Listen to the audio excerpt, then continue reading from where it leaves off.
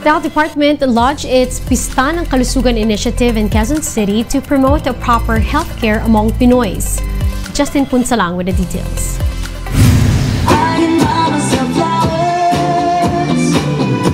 Free vaccination, guidance on healthy eating and exercise, and lectures about safe sex.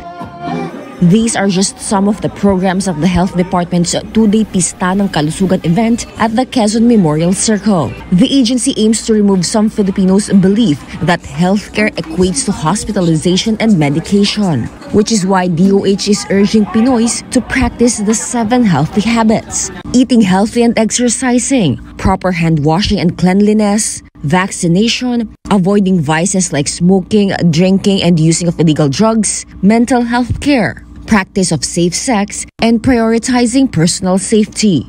Do we know what we learned from the pandemic?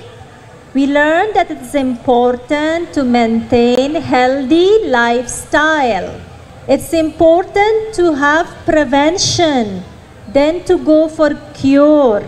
And it is important also to protect people around us.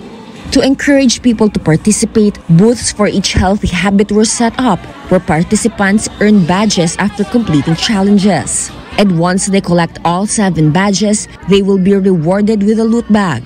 QMC visitors enjoy the activities, saying it helped in learning about personal health.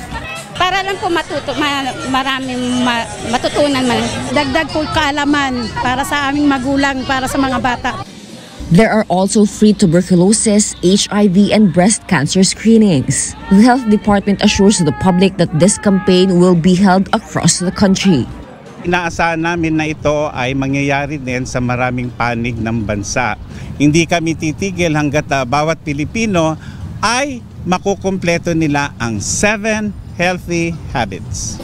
For News 5, Justine Punsalang, we are One News.